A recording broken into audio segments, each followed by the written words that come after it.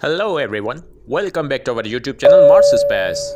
If you're new, hit bell icon with thumbs up and please watch full video. The information that Perseverance collects on Mars helps researchers plot out future visit to the planet, which could also involve a bold plan from SpaceX which aims to build a full-fledged city.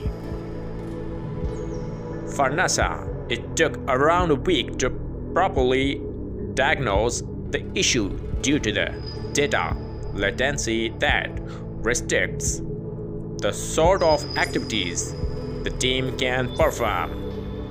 Although NASA designed the carousel to function with debris, the team did not want to leave anything up to chance. It was hard enough getting the rover to Mars in the first place. And NASA's Mars Perseverance rover collecting Mars samples for future and is still searching clues about life on Mars. Stay connected with us. Thanks for watching.